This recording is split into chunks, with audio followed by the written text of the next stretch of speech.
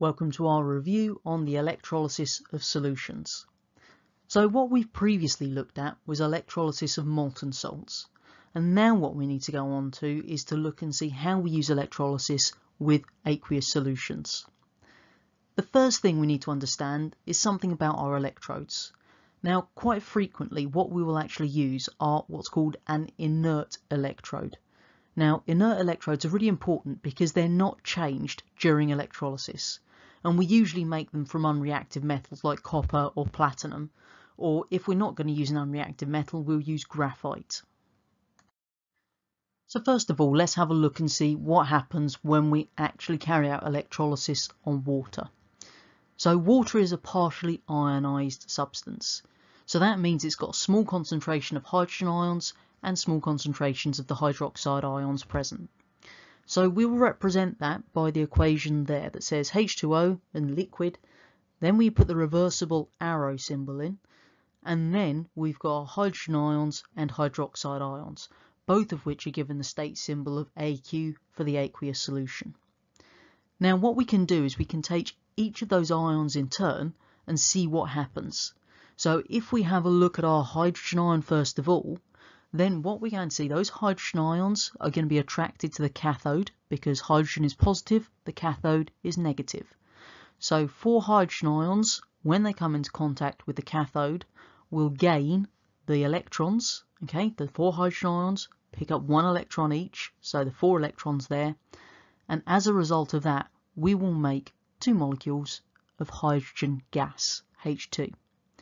If we then consider what's happening at our anode, then the anode is positive, hydroxide ions are negative, so the negative hydroxide ions will then lose their electrons when they come into contact with the anode. And as a result of that, we form two molecules of water, H2O, and oxygen gas.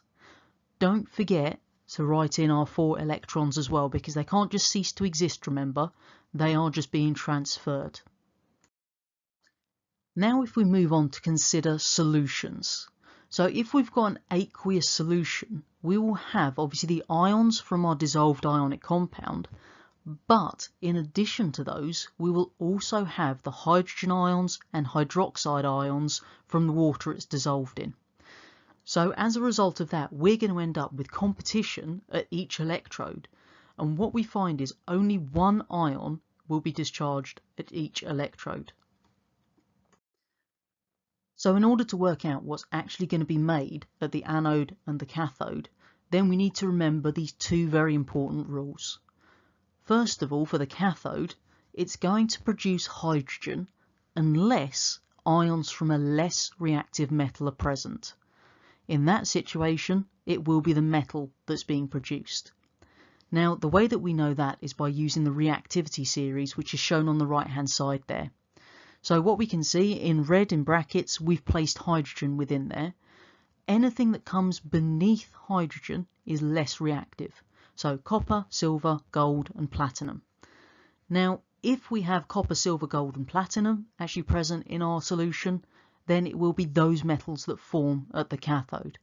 If we have any of the metals above hydrogen, then what we'll find is hydrogen forms at the cathode. So as opposed to having to learn the entire reactivity series, which is a bit of a silly thing to try and do, then if you just remember that copper, silver, gold and platinum form at the cathode, anything else that you're given in the question, hydrogen forms at the cathode. If we now consider our anode, then our rule is quite simple. Oxygen will be produced at the anode unless we have a group 7 element present. Now, group 7 are called the halogens, and they are fluorine, chlorine, bromine, iodine, and astatine. So if any of those ions are present in our solution, that is what will be made at the anode. If none of those are present, then oxygen is produced. So just to illustrate that point, what we've got here are five different electrolytes. So these are the solutions. So if we have a look at our top line first of all, we've got copper chloride. So our cations, the positive ions present, we have copper and we have hydrogen.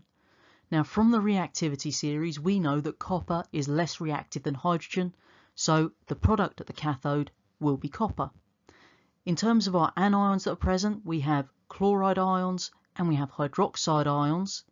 Now chlorine is in group 7, therefore that will form at the anode. If we have a look at the next one down, our copper sulfate, CuSO4, then the cations, again we've got copper there, so that means that will form at the cathode. But in terms of our anions, we have our sulfate ion and hydroxide ion. There's nothing from group 7, therefore oxygen forms at the anode. And that's the same as you go right the way down. You can see that any time that in our cations we've got an element that is less reactive than our hydrogen, then that forms at the cathode. Otherwise, like with our KBr there, potassium's more reactive than hydrogen, so hydrogen forms.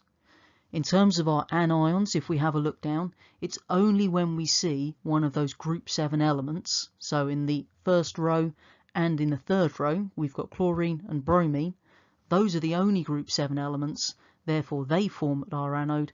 All of the others, it will be oxygen. So just make sure you remember those rules and then you'll be able to predict what's going to be made at either the cathode or the anode.